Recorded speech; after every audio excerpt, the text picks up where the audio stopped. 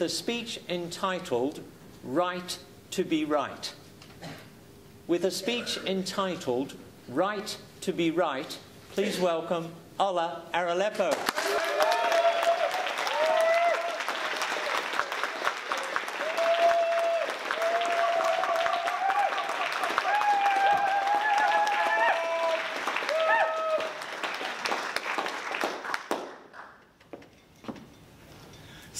People genuinely believe that they were born with the right to always be right.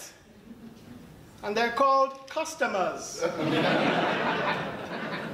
How do I know this? I'll tell you. Thanks for asking. Until recently, I was working for London Underground as a customer service assistant at Holland Park Station. Now, to put things in perspective, let me tell you a little bit about the customers who walk through the station.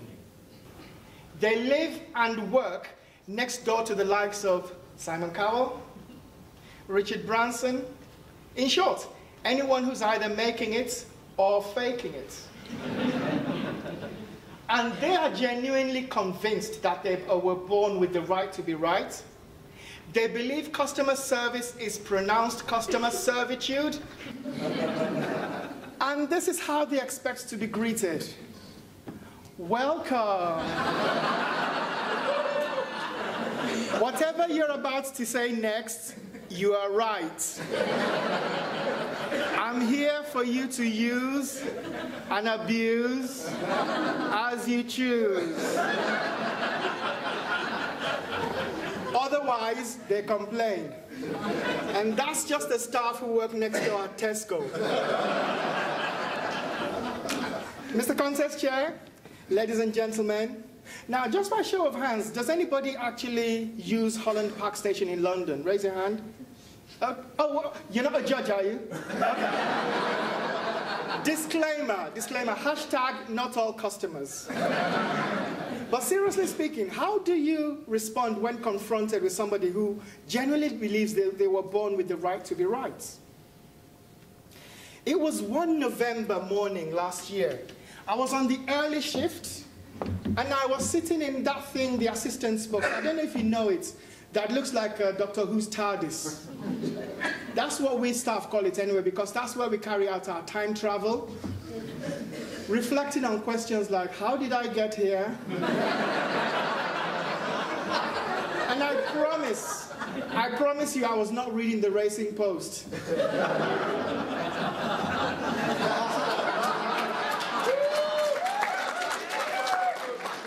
Out of the corner of my eye, I spotted him walking to the station. His Majesty the customer looking like a feudal lord inspecting the servants' quarters. Now, years have prepared me for this moment. Years of customer service brainwashing, I mean training.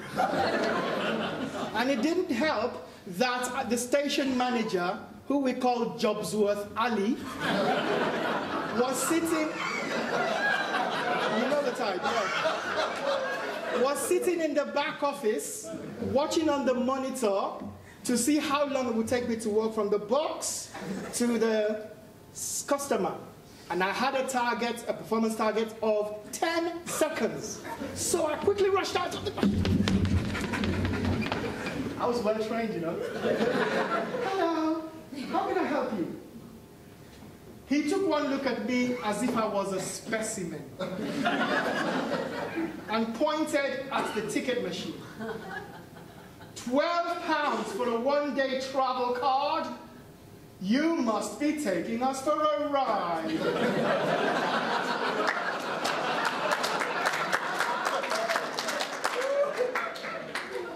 and he continued, I'm not paying that.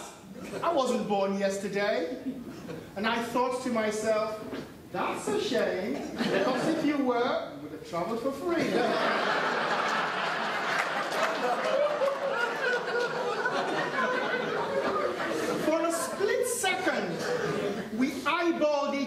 And we shared a moment of connection. I don't know if you know that connection that two male animals have when they meet for the first time. And they know, we're thinking the same question, aren't we? Can I beat you up? but he said, come on, let me into the station. I said, why? You need a, an Oyster card or a ticket to get through. He said, no, I don't need a card. I know everybody who works at this station. I know David, I know Isabel, I know Mohammed, and they all let me through. Up until this point, I had been working at Holland Park Station for three years. David I knew, Isabel I knew, who was Mohammed? so I proceeded to tell him, sir, there's no Mohammed here. Maybe you have the wrong station. Have you ever tried to correct somebody and almost immediately thought to yourself, hmm, ah.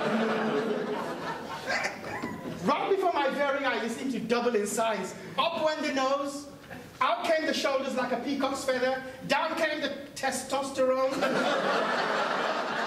How dare you challenge me? If I say somebody works here, they work here. Who are you? I haven't even seen you work here before. Do you actually work at this station? And he spoke with such confidence that for a moment I started to doubt myself. Do I actually work here? But another part of me said, no, no, no, no, no, you don't have to take that from him. You're a Lagos boy, come on, give it back to him. I was about to let my speaking fly in his face. And at that moment, Jobsworth Ali came out of the office. What's going on here? And the customer looked at him and said, hello, Mohammed.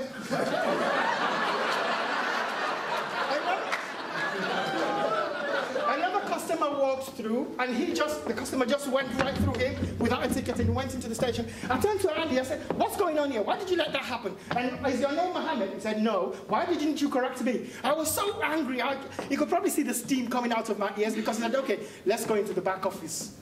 Calm down. So I said, okay, oh, okay.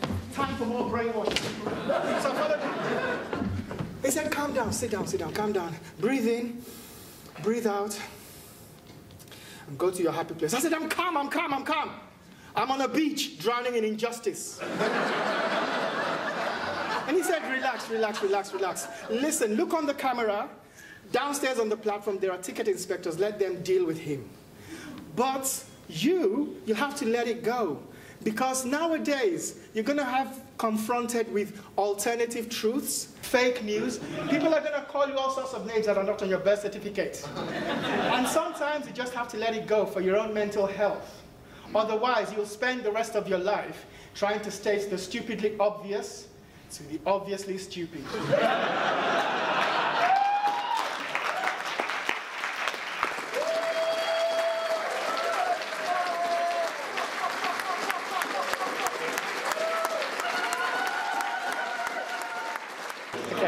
You've just won the humorous speech contest at District 91.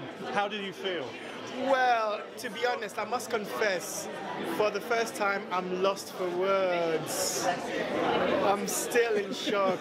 Pleasantly surprised, but lost for words.